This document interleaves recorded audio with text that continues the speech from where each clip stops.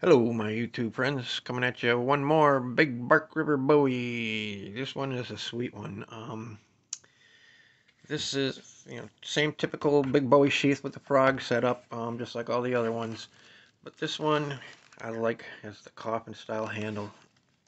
Oh, these fit very good too, by the way. The, the sheath is holds them very good.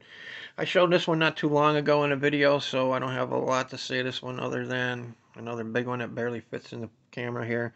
Another 10 in, probably 10 and a quarter, I think. Uh, just like the other ones, more than likely. Maybe not. Let me see here. This is the, the 1909 Michigan Bowie, and this one, oh, this one's just a tad under. This is about 9 and 3 quarters inch, it looks like. Just barely, a little over 9 and 3 quarters inch. A2 tool steel as well, 3 16 inch thick. Um, got the brass um, guard and brass pins and lanyard tube.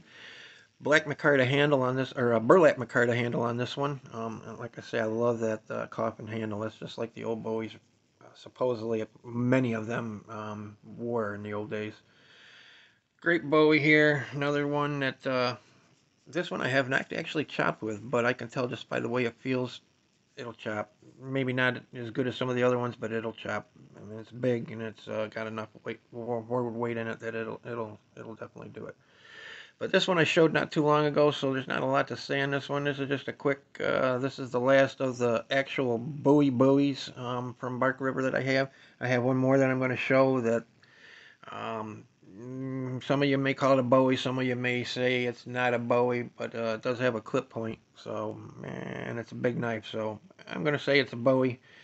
You may disagree, but we'll see when the time comes here, and I'll show that one. But in the meantime, that's all I got about this one.